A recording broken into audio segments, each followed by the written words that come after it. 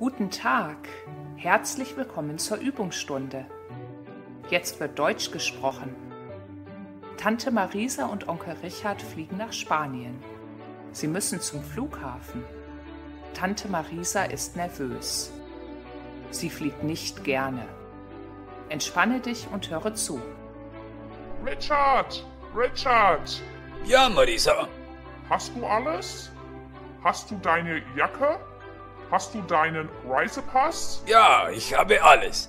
Was ist los, my dear? Oh, Richard, ich bin nervös. Ich fliege nicht gerne. Wir müssen nicht fliegen.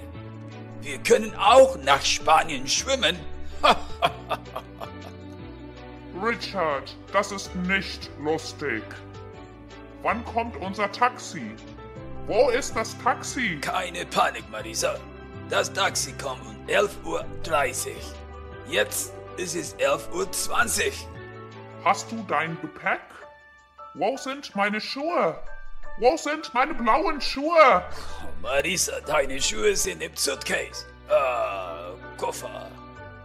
Wieso sind meine Schuhe im Koffer? Ich brauche meine Schuhe. Marisa, calm down. Hier sind deine Schuhe. Wo ist mein Reisepass? Oh nein, Richard, wo ist mein Reisepass? Marisa, keep it cool. Dein Reisepass ist auf dem Tisch. Richard. Das Taxi. Wir müssen los. Marisa und Richard fahren zum Flughafen.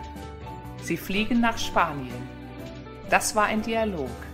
Du möchtest noch mehr üben? Weitere Podcasts und Videos findest du auf www.babelia.us www.babelia.us Bis zum nächsten Mal. Tschüss.